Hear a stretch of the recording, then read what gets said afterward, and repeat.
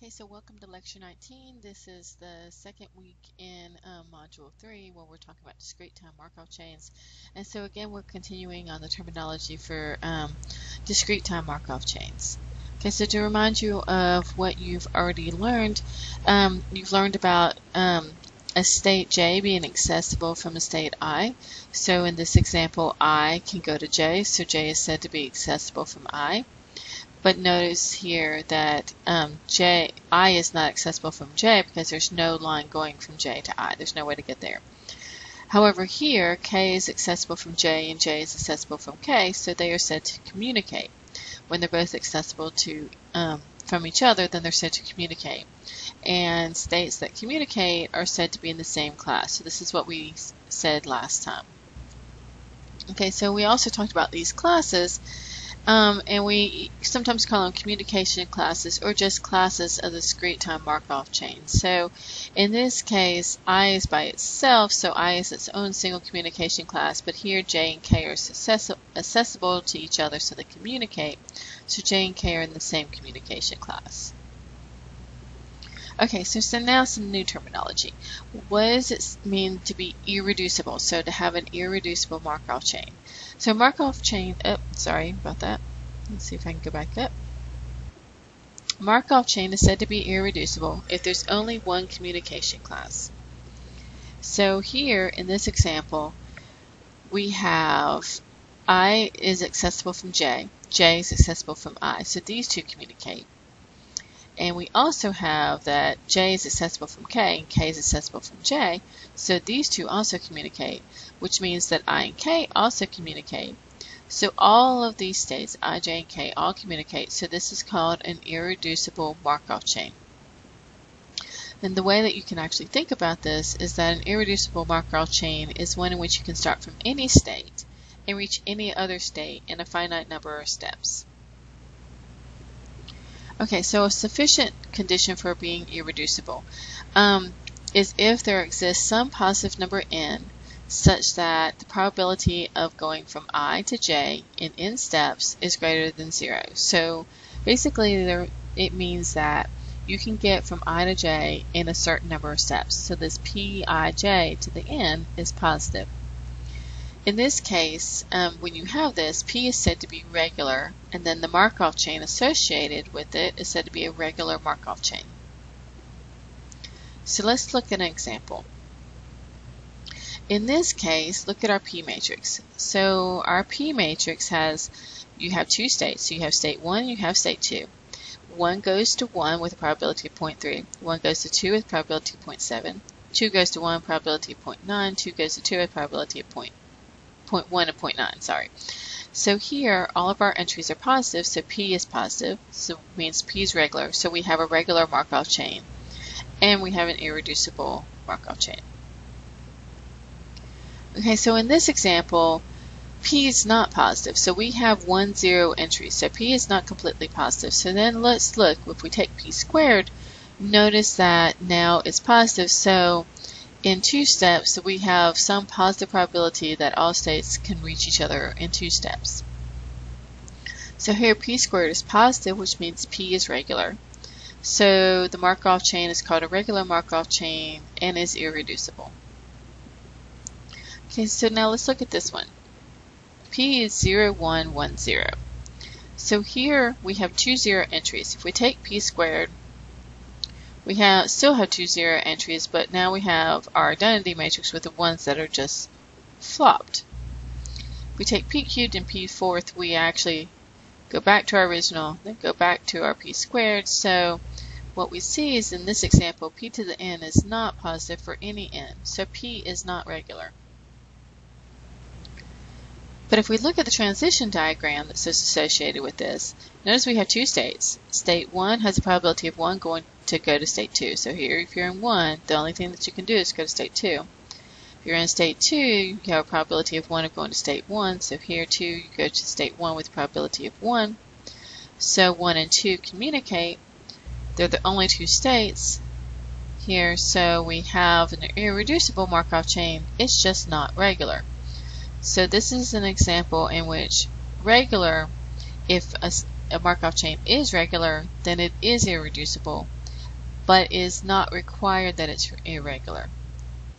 So this is one example of where the Markov chain is not regular, but it is irreducible. Okay, so another terminology, close. So if we have a set of states, C, then it's said to be closed if, if you're in C, you can't reach any other state that's outside of C by one-step transitions. So it's easier to see this if we look at an example. So here we have four states. We have one, two, four, three, and four. So here one can go to two, two can go to four, four can go to two, three can go to either one or two. So what we have is we have two and four communicate. So they're a class. One doesn't communicate with anybody, so it's by itself. Three doesn't communicate with anybody, so it's by itself.